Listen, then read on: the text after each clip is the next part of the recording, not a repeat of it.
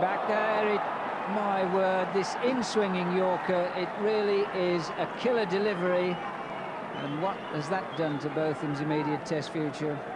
Done nothing for the present, I can tell you. And England now in trouble, 2-1-3 for five. Straight as an arrow for the first two-thirds, and then the in-swing, and at the pace that's bowled at, makes it very difficult for a new batsman to keep out. New batsman here, Chris Lewis.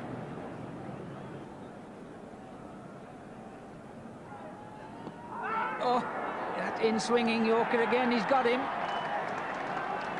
What a spell of bowling from Waqar Younis, and he's got England in all sorts of trouble.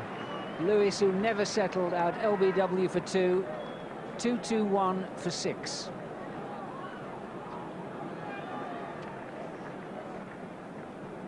Off the outside edge.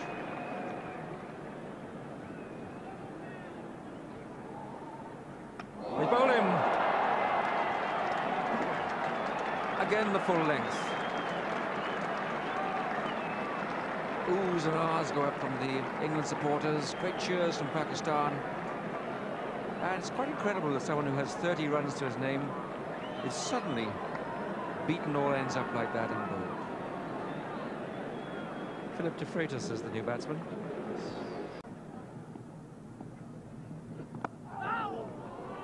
Wasn't that a gorgeous delivery? The first real one on target this morning. Real in-swinging Yorker. What a gorgeous delivery. Watch it swing in, half bat, onto the toe. Oh, that is a beauty. Two slips in for Lewis.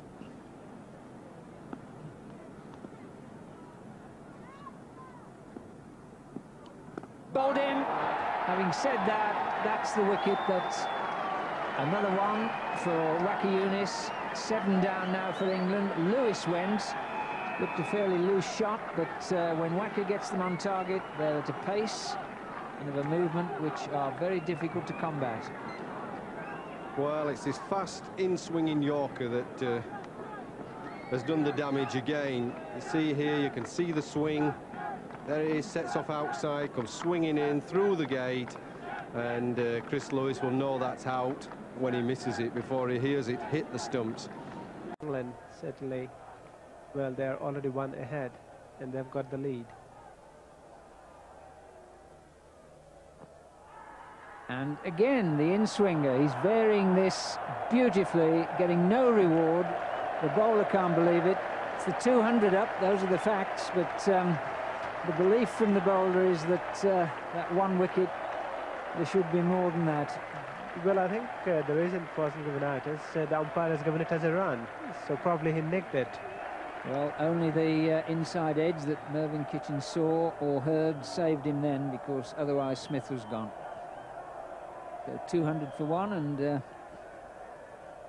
psychologically that means a lot to both sides.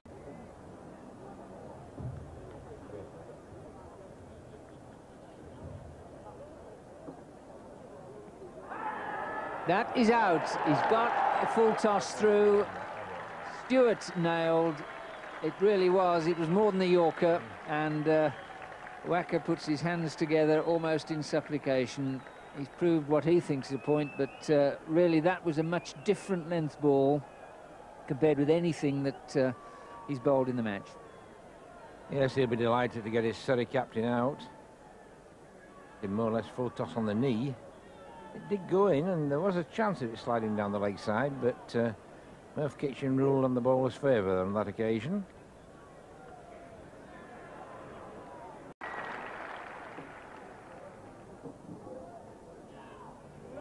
Oh.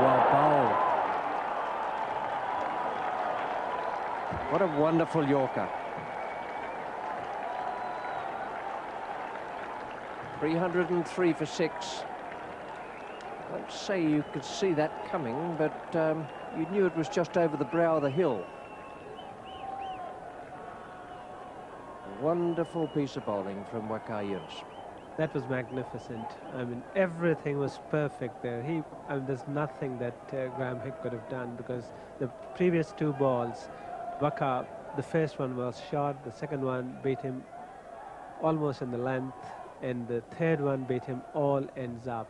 There was a magnificent swinging delivery. The new batsman is uh, Chris Lewis.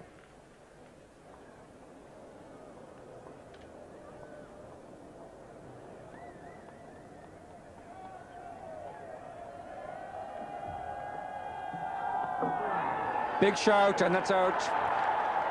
Another wicket falls, and uh, England are really in trouble now. Beautiful late in swing. Waqar Younis keeping the ball well up to the bat. Amazing, really, that Pakistan could labour so long without luck, and suddenly it's all gone their way. And we must say, the bowlers have deserved their luck.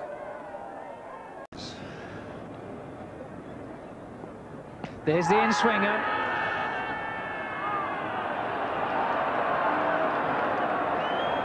Now, we wondered when Waqar Younis would get this one going. Wry smile there from umpire David Shepherd. Yeah, probably just missing leg stump. It went a long way at the death, did that. And uh, that reminiscent of the first innings, 71 overs been bowled with this ball.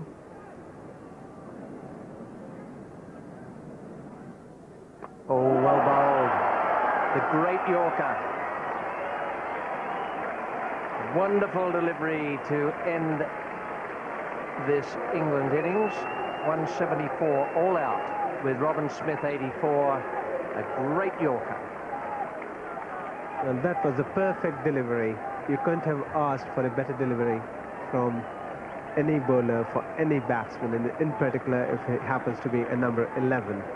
Waqar Younis, who picked up another five wickets in this innings, he took the top four, and then here he is, five for 52, a magnificent performance, and Robin Smith. What a magnificent knock that was. Single-handed out of a score of 174, 84 not out. That was really remarkable, and it deserves all the accolade that he's receiving. Massive controversy. Beautifully bowled. Great Yorker, but uh, Tufnell is in considerable amount of pain there. That was a very, very swift delivery. Well, it was swift and it was swinging in right onto his toe. And it didn't get him out, but it's to be hoped it didn't do any real lasting damage. I've seen people break a toe that way, a full toss straight onto it.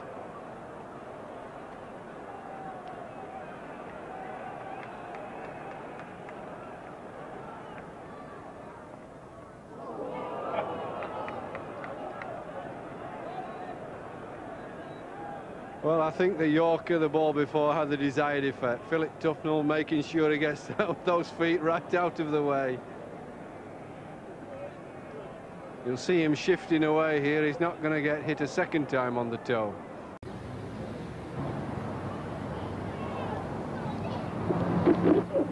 Oh, it's bowled. What a superb delivery. The middle stump uprooted.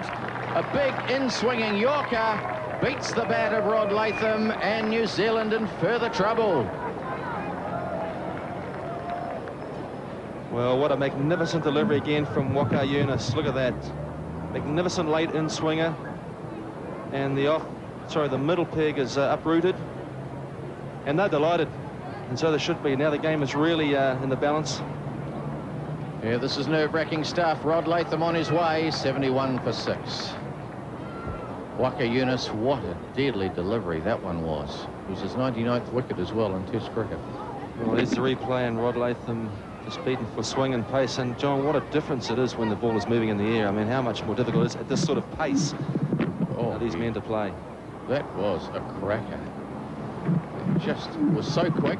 Certainly Rod Latham played it from the crease, as we see there. Uh, and I obviously feel the way to play would have been to get onto the front foot, but that's a very difficult situation when uh, you've got someone of Waqar's pace coming down at you. And, and we're only looking in, in the right techniques for saying that, but um, Our, our uh, Bank of New Zealand stump vision, I don't think, is in great nick at the moment either, Jeff. He copped it full on there. Goodness me, he's lucky. Oh, he's bowled him with the full toss. Well, I can't believe it. The in-swinging full toss, it's a deadly delivery. You don't expect to get the ball up around about waist height. You're looking for it elsewhere. And Greg Blewett will wonder where the heck that delivery went. That's what it was. It started a foot outside off stump and it hit leg. It was uh, reverse swing, the reverse swing we've been talking about that uh, Wasim Akram used earlier this morning and now Waqar Younis has with such deadly effect. And that swung, well, if you allow 10 inches a foot, uh, that's gone, oh, 25 centimetres. And it's accounted for Greg Blewett. 7 for 170. Well, Craig McDermott is the new batsman. Paul Reiffel has some hamstring problems. They've decided to go with the, the big fella. Probably have him looking for playing some shots. The reason he's there is that Greg Blewett defeated by the in-swinging full toss, not the in-swinging Yorker, which Waqar is so well renowned, for which he's well renowned. Maybe, Greg Blewett maybe just lost that one. Wasn't expecting it to be quite so full. The swing has deceived him. And quick bowlers have given Craig McDermott some problems in his time too. That ball that uh, dismissed Blewett swung a long, long way. If you uh, watch the trajectory straight down the pitch, you see it started about a foot outside off stump. And it's hit leg. Just there to there. That is a big swinging ball. And uh, very well bowled. Did the job, 7 for 170. Well, these fellows, Wasim and Waqar, have hit the stumps a lot of times in their career. 77 still required, three wickets in hand. And there is another one, and that might be it. And that's the second time in the match McDermott has been out second ball for a duck. Bowled on both occasions, never in any real danger of being out LBW. Certainly wasn't. Pads are well outside the line of the stumps. That's not very well played. But it's uh, very well bowled. Waqar Younis knew uh, precisely what he had to do. And it's 8 for 170.